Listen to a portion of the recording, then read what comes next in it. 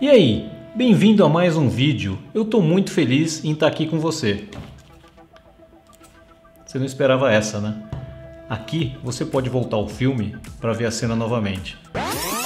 Mas na fotografia de rua, a cena não volta. Esteja sempre pronto. Segura aí.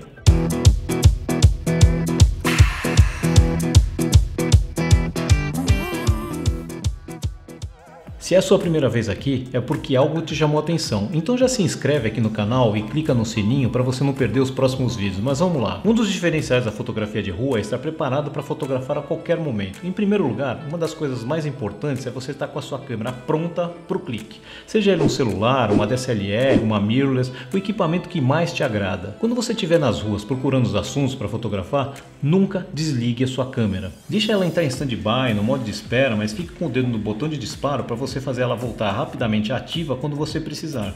Na maioria das câmeras você tem uma opção para alterar o tempo que ela fica ligada antes dela entrar em standby. Dá uma olhada nas configurações da sua câmera e veja quantos segundos ela tem configurada antes de ficar inativa. Se você achar que é pouco, mude a configuração.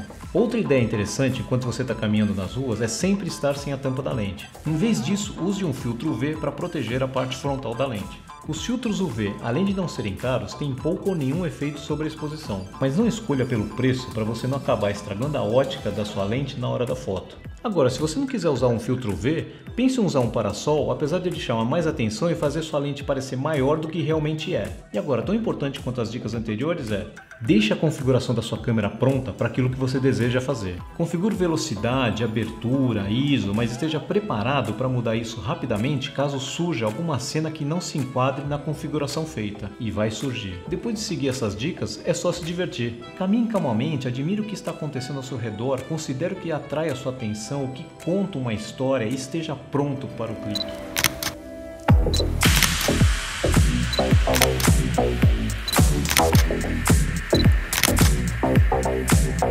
Espero que você tenha gostado desse vídeo. Se gostou, curte, compartilha e comenta, pois isso me ajuda a pensar em novos temas para os próximos vídeos. E a gente se vê no próximo vídeo. Até lá!